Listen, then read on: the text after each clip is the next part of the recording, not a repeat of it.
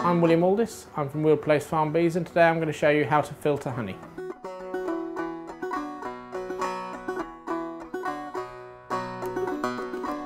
This is a honey filter. We have a 300 micron fine stainless steel mesh filter on this side and a 1000 micron honey filter on this side. It's a double stage filter so the honey goes through the top stage and into the bottom. The top stage filters out all the large lumps of wax and bits and pieces whereas the bottom stage takes out any very small quantities of pollen, bits of bee, all those sort of things that unfortunately do end up occasionally in your honey.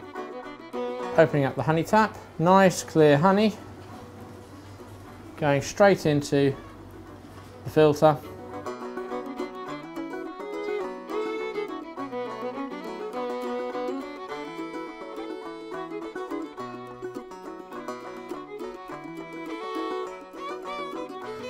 Now your honey's been filtered, it's ready to be stored in jars or bulk buckets.